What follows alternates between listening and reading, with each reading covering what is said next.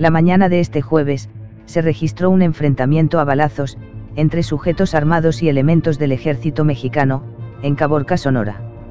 De acuerdo con medios locales, los hechos sucedieron en una zona rural de Caborca, en donde personal militar y policía estatal, desplegó un operativo en respuesta a denuncias que alertaban sobre detonaciones de armas de fuego. En el lugar, los efectivos fueron agredidos por un grupo armado, por lo que repelieron el ataque y comenzaron una persecución contra los sospechosos.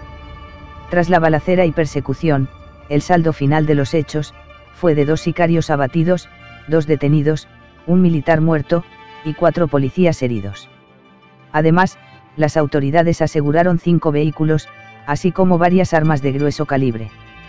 Finalmente, la Secretaría de Seguridad Pública del Estado, informó que tras la balacera, se desplegaron más operativos policíacos.